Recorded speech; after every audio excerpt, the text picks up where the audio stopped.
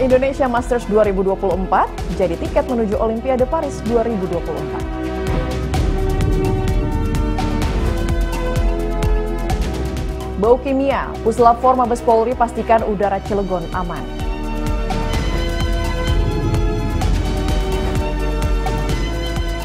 Bawaslu Kota Kendari resmi melantik 1030 pengawas TPS.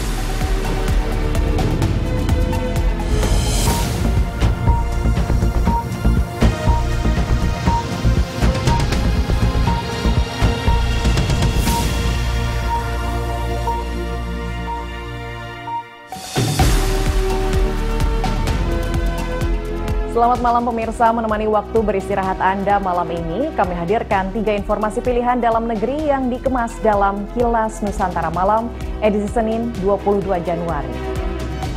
Pemirsa ajang spesial bagi para atlet bulu tangkis dunia yakni Indonesia Masters 2024 bakal digelar Selasa 23 Januari di Gelora Bung Karno, Jakarta. Ajang yang diikuti 278 pebulu tangkis dari 29 negara itu menjadi tiket menuju Olimpiade Paris 2024.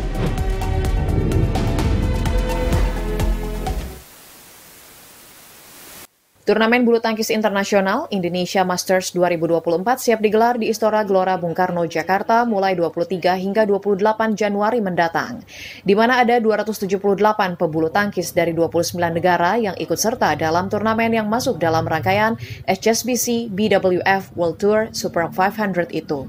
Sebagai tuan rumah, Indonesia menyertakan 34 pemain. Di antaranya Jonathan Christie dan Chico Aura Dwi Wardoyo di sektor tunggal putra. Sementara di tunggal putri ada Gregoria Mariska Tunjung, di sektor ganda putra ada Fajar Alfian dan Muhammad Rian Ardianto. Di ganda putri, di antaranya Apriani Rahayu dan Siti Fadia Silva Ramadanti. Ada juga Dejan Ferdinand Syah dan Gloria Emmanuel Wijaya di nomor ganda campuran. Turnamen tersebut seperti diungkapkan Ketua Panitia Pelaksana Indonesia Masters 2024 Arman Darmaji dalam konferensi pers di Jakarta pada 22 Januari merupakan ajang yang spesial. Pasalnya merupakan ajang kualifikasi menuju Olimpiade Paris 2024. Jadi tentu ini kesempatan besar untuk para atlet kita, terutama yang dari Indonesia, untuk mengumpulkan poin sebanyak-banyaknya demi ikut serta dalam Olimpik Paris 2024 kami juga tidak mau terburu-buru dengan poin juga sih gitu. Yang penting kami mau mencapai target kami aja. Poin belakangan kalau untuk kami berdua. Kita juga nggak mau buru-buru karena Kaprim biar fit 100% lagi, biar siap lagi untuk pertandingan selanjutnya. Dan untuk ini kita targetnya pastinya juara, tapi kita step by step satu persatu. Daihatsu Indonesia Masters 2024 masuk dalam rangkaian HSBC World Tour Super 500 yang merupakan ajang ketiga di tahun 2024 secara beruntun, mulai dari Malaysia Open, India Open, dan Indonesia Masters. Selain poin menuju Olimpiade Paris 2024, total hadiah yang diperebutkan adalah 420 ribu dolar Amerika Serikat atau sekitar 6,3 miliar rupiah. Dari Jakarta, Afra Augesti, Yogi Rahman, kantor berita Antara mewartakan. Bau kimia menyengat di Cilegon, Banten membuat masyarakat di sekitarnya terganggu. Namun dipastikan udara Cilegon aman setelah Puslapor Mabes Polri merilis hasil pemeriksaan sampel dari aktivitas flaring PT Chandra Asri.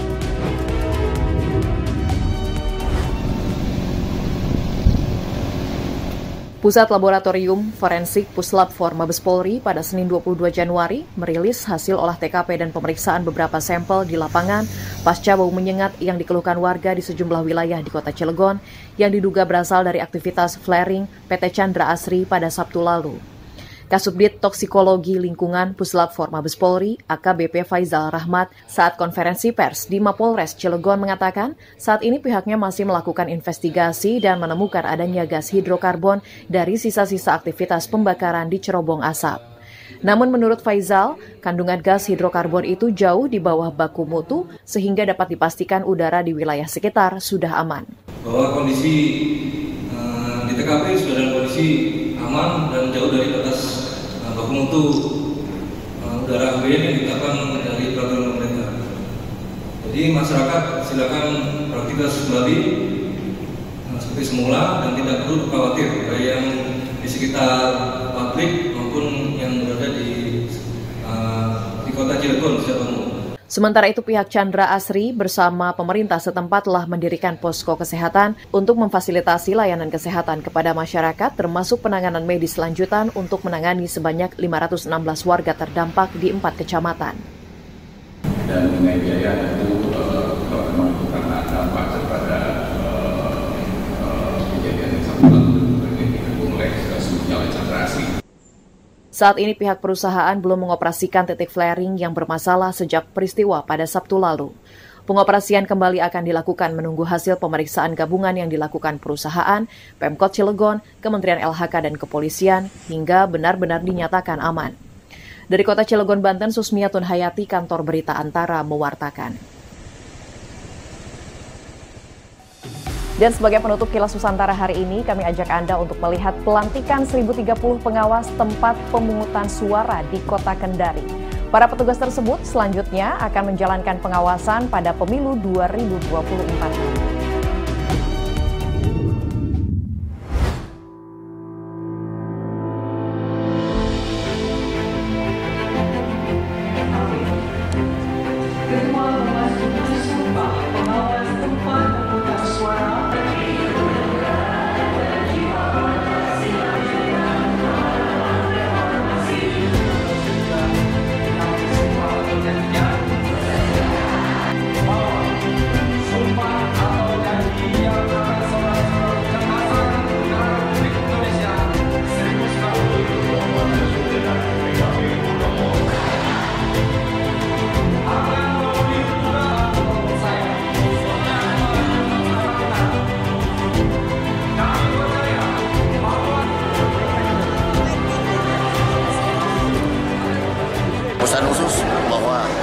petugas ini betul-betul melaksanakan tugasnya dengan baik ya. jangan terlibat ya utamanya terkait masalah kecurangan-kecurangan Kemudian yang berikutnya karena mereka ini garda terdepan, kami berharap mereka punya mentalitas yang baik. Proses di TPS itu butuh koreksi, butuh perbaikan dan lain sebagainya. Mereka berani menyatakan itu.